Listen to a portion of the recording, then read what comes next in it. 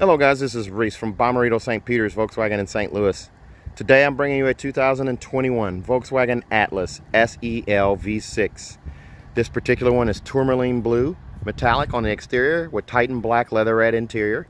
It has bench seats, so this is a true seven-seater. Uh, it is three inches longer than the previous generation of Atlas in 2020, 2019, or even 2018. It features the new front end with the LED running lights and LED headlights, all weather lights. Aggressive chin on the front there. Same V6 engine. New 20 inch alloy wheels. Still has the panoramic sunroof with power sunshade. Keyless entry on four doors. Easy kick open remote, remote hatch. Trailer hitch. Tows 5,000 pounds and exhaust tips in the bumper and an enlarged reflector on the back. More chrome integrated into the tail lights and into the rear Atlas nameplate. Nice bowl line down the side from the wheel arches under the under the door handles and into the front wheel arch and un just under the lights into the bumper. Again, it's keyless entry on all four doors. Let's take a look inside. Three seat memory set up right here forward and back, or, or, I'm sorry, your lumbar support right here. Here's your forward and back, and then also your um, seat back adjustments right here. Nice bold leatherette seat with uh, bold white stitching there. They've made the stitching brighter so it's more pronounced. Adjustable headrest there. Adjustable seat belt clip right here. You can see that. Let's climb inside. So now that we're inside, powered door locks. Nothing's changed there. You also have one touch up, one touch down on all four windows with a window lock right here. You do also have uh, the power mirrors and a heated mirror, but now the heated, heated mirrors are integrated into the defrost system. So when you run the defrost, the heated mirrors kick on. Does still have wood grain interior in the door panel, across, into the dash, and into the door on the passenger side. They kept the Volkswagen digital cockpit, of course, with a few upgrades, but I'll get back to that in a second here you have a new and improved leather wrap flat bottom steering wheel. It's a little thicker, a little meatier than the previous one in 2020 or 2018 or 19 or 17. Um, I'm sorry, 2018 or 2019 or 2020, those years.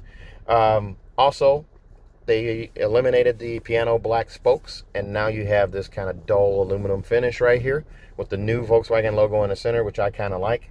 Um, the mapping of the buttons is all the same, so you still have volume control right here your safety features are going to include lane assist, side assist, rear traffic alert, front assist, uh, in conjunction with adaptive cruise control. So you can set your following distance for that.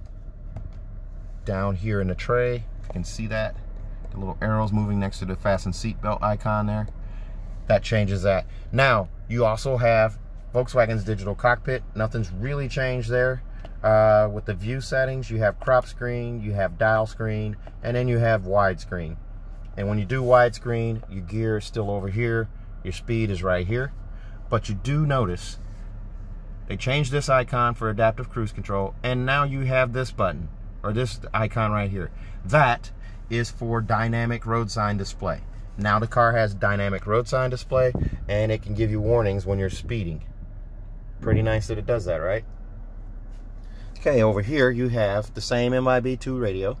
Navigation setup right here um, you can actually take navigation from over here and bring it back over here by touching the map button and now it's back. Now something that people don't know about the car and it's going to show you a speed limit sign right there. That's a new upgrade with that dynamic road sign display. But right here see how north is pointing up? This is oriented right now so your navigation map will always show north is up and it will not orient to the direction you're traveling uh, of the car so sometimes that's confusing when you're using navigation. So if you just simply touch the in, it changes it to true north. Now the car is oriented the direction it's facing. And you don't have that problem. And if you decide you want to move the map back over to here where the compass is currently, just wave your hand in front of the screen. That brings up, uh, there's an infrared sensor that brings up the um, hot buttons. And then you hit the map button. And then that's back over here.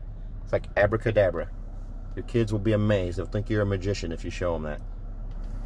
Down here, vent settings as well as your heated uh, seat icons right here and buttons. So you do have heated seats for driver and passenger up front.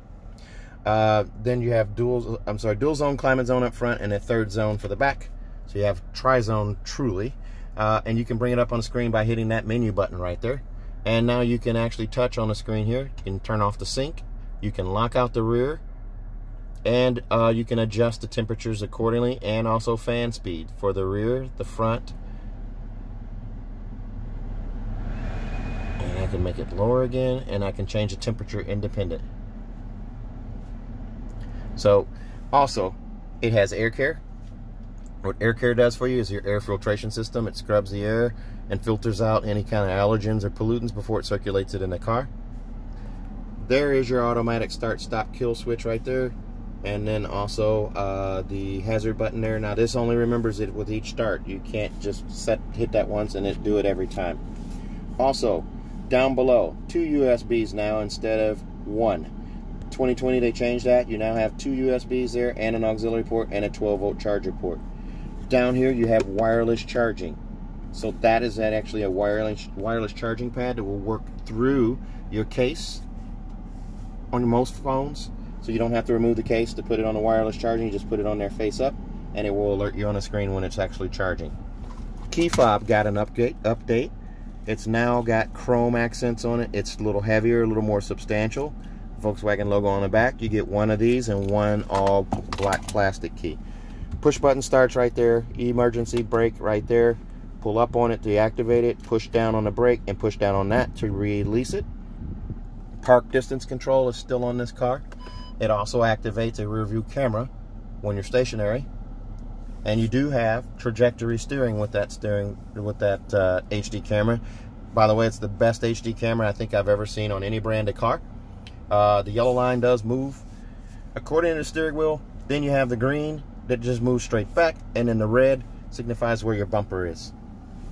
It's being it's all motion or sorry 4Motion which is all-wheel drive. Sorry it's early in the morning still so you can change the display from snow to normal which allows you to do eco normal sport and custom then you also have off-road and off-road custom off-road custom will allow you to tweak each one of these aspects of the drive, change it to on or off, change it from normal to sport, um, hill assist, all of those features there.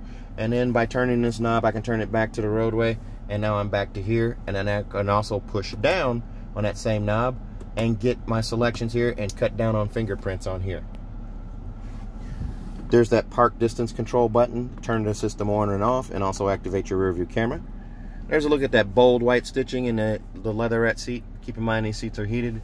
And there's the headrest adjust there and seat belt adjust for the passenger side right there. The shadow's kind of covering it up. In the glove box, that is where your CD player is. Also SD card reader right there for navigation. Second SD card right there. These are seat belt clip protectors when you're using child seats. And then you also have additional SD card holders right there giant panoramic sunroof with a power sunshade. The sunshade's already open, but push the button there. There's your ventilated setup right there. You can also open that and have it go all the way back. It covers the entire section there. It's hot outside, so I'm trying to get that closed.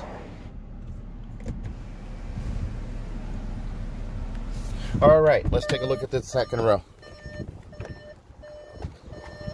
The window sticker's pulled off right there. So we're gonna do it on the seat right here. The extras on this one are gonna be uh, the monster mats for 285. Then you also have privacy cover right there for 200 bucks and then roadside assistance kit for 85 bucks, bringing this one to 45 785. We'll move that up front there. That armrest does have an extra USB port in it. On the back side, there's your vents and climate control right there two USBs right there and also a three-prong plug-in for a 115 volt plug right there so you can charge your laptop while you're driving latch setup for the seats there so you have it in three places you have it in the outboard seat the middle seat and then the other outboard seat on this side so you can have three front facing car seats here or even I'm sorry rear facing car seats here or front facing boosters now this being a bench setup this is a seven seater and this is where the Atlas stands tall against the competition. This little lever right here is a game changer. uh, along with this seat setup right here. So you just lift up on this seat here. The entire seat pitches forward. The bottom drops out. Car seat remains strapped in. You don't have to remove a car seat to get into the third row access. So a lot of people swear when they come in that they have to have captain's chairs for ease of access to the third row. They're giving up a seat. They're giving up a passenger to as a sacrifice for that. With this car, you don't have to do that. This is still a seven passenger. As you can see, two seats pitch forward. You can climb into the back. The other cool thing about this, the competition has seats where, like the Chevy Traverse, where you can only access one side, where both passengers in the back have to get out on the same side. That seat does the exact same thing that this one just did. There's the lever up there on top. That seat pitches forward. It will join this seat, even if it has a booster. You can get two passengers in the back, three in the middle. In the door, you do have a sunshade right here. That's standard on the SE and above. Those headrests do flip up for uh, added comfort for your rear passengers. You can get seven adults in this car, six foot plus. Notice how high off the floor the seat sets, so your knees are not bend, bend, oh, sorry, bent into your chest, which translates into discomfort. Your knees are more perpendicular, so a full-size adult will sit back there with no problem. To move the seat back, you just lift up on it, slide the seat back using a little bar underneath, and there you have it. To fold the seat flat, you lift up this handle right here, or to recline the seat, it does the same. And that seat folds flat, and so will those seats back there. As we go to the back, there's a look at the alloy wheel. It's a power lift gate, easy kick open. There's your trailer hitch, rated at 5,000 pounds of pulling. Here's a look through from the back, a true seven-seater.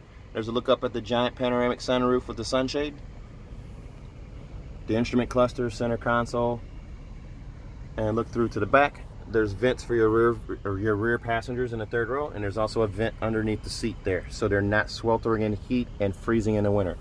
More cup holders and spots for storage right here and here. Top tether hookups on the back of those three bench seats, as well as back here in the back. There's a U I'm sorry, 12 volt charger port right there. There again is a look at those top tethers and emergency strap pulls right there to get out. Uh, for the rear, there's your latch set up right there. Fold the seats down, just flip those. Now you have that extra storage, and those seats will fold flat as well. And there's seat belt clips on either side to clip seat belts out of the way when you're carrying cargo and not get tangled. Cargo blocks here, monster mats, roadside assistance kit, and this one actually has a cargo cover too in that plastic there that nests right there and there with the third row folded down push button to close. There's LED tail lights on there. Nice chrome on the back. This car does come with a four-year, 50,000 mile bumper-to-bumper warranty from Volkswagen with two years of free maintenance from Volkswagen. And if you ask for me, please ask for me when you come in. If these videos have helped you in any way, please give me a call, let me know. Um, also, just ask for me when you call the dealership. If you buy from me at Bommarito St. Peter's, we're going to give you a 10-year, 200,000 mile nationwide engine and powertrain warranty. That's 10 years, 200,000 miles nationwide engine and powertrain warranty. Also, we'll give you an additional year of free maintenance. So you'll get three years of free maintenance. The third year is on us at our dealership, so you'd have to come here for that third year of free maintenance. If you live out of state, you still can get those uh, first two honored by Volkswagen at any Volkswagen dealer near your locale. So if you're interested in this car or any other car, please give me a call, 636-290-4257. That's 636-290-4257. I'm on Instagram, YouTube, and Facebook at Reese Sells Cars. Thanks a lot, guys. Have a good day.